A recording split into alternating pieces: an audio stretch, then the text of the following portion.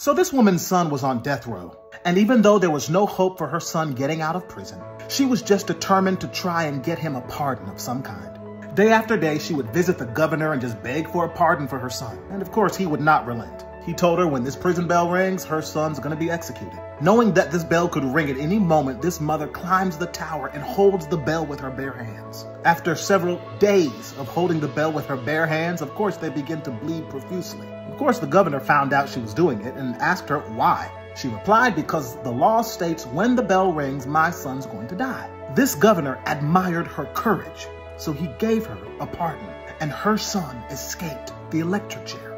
In the very same way, Jesus left his hands on the cross so the bell of judgment wouldn't ring for you and for me. If you believe Jesus died for you or want to learn more about this good news, subscribe or follow now.